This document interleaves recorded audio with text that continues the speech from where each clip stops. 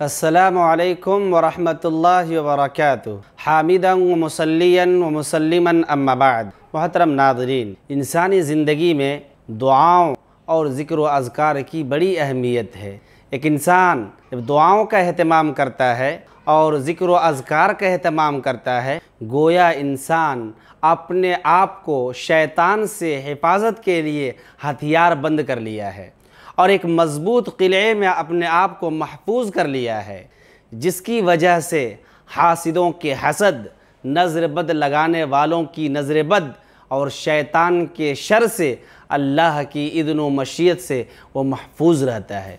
अल्लामा इब्नुल्क़य्यिम रहमहुल्लाह फरमाते हैं कि सुबह शाम के अज़कार, ये आहनी लिबास के मानंद है। आहनी लिबास, ज़रा, जो मैदान जंग में एक शहसवार पहन करके दुश्मनों के दांत खट्टे करता है। वो आहनी लिबास, तीरों और भालों से उसकी हिफाजत करता है। इसी तरह दुआओं का भी मामला है दिक्र अधिकार का भी मामला है। एक इंसान अगर दुआओं का अहतमाम करता है ज़िक्र अजकार का अहतमाम करता है, गोया कि वो अपने आप को शैतान से बचाव के लिए, हासिदों के हसद से बचाव के लिए नज़रबद लगाने वालों के नज़रबद से बचाव के लिए अपने आप को महफूज कर लिया है।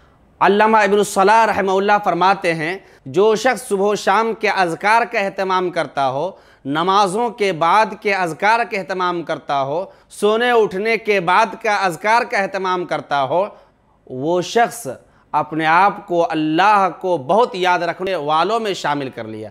उद्दाकिरीन कसीरा। अल्लाह को खूब याद करने वालों में अपने आप को शुमार कर लिया है।